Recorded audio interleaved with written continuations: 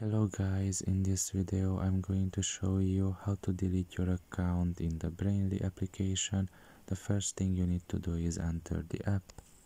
Once you are done with that and you are in the home page, you should look at the bottom of your right corner and there you will find your profile. Press on it. And here if you scroll down a little bit, which I already did, you will find the settings. Press on it and here you should just click on the profile. And once that is done you should choose here the last option which is delete account. And here you will be able to read a little bit about what happens if you delete your account. And if you still want to proceed you can just check mark here that I understand and press on delete my account.